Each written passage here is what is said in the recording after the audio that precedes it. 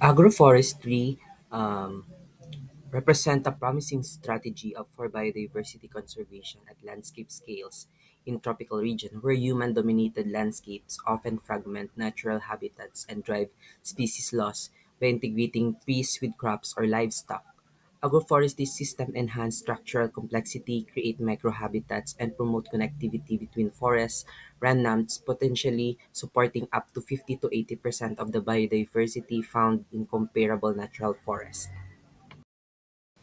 In tropical landscape, agroforestry systems such as silvopastoral arrangement and multi-strata home gardens serve as buffers against deforestation, fostering resilience in areas with high human pressure. Studies from 2022 to 2025 highlight how this system adapt to climate variability, with example from Southeast Asia showing agroforestry reducing deforestation by an average of 1.08 from South um, across 38 subnational regions between 2015 and 2023, equivalent to 250 to 319 hectares per year.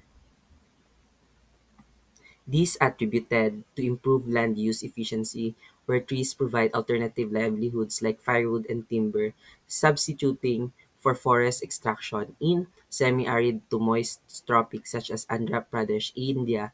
Stakeholders' perspective underscore agroforestry integration into mixed-use system to sustain food production while conserving biodiversity and fragmentation.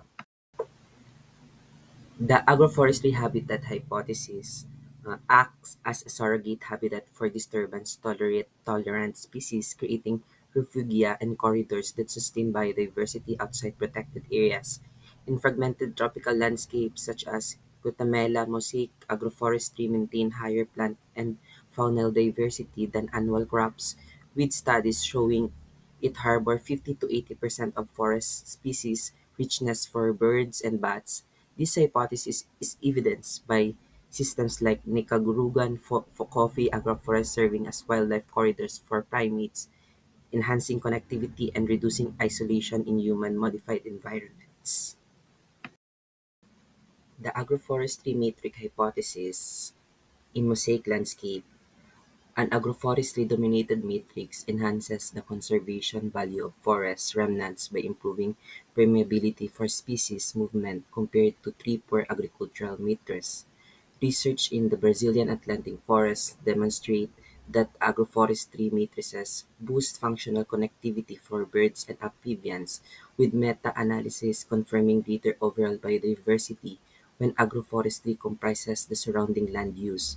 This is critical in tropics where fragmentation isolate patches. For example, Colombian Andean agroforests preserve multi-level amphibian diversity by linking fragments through heterogeneous matrices.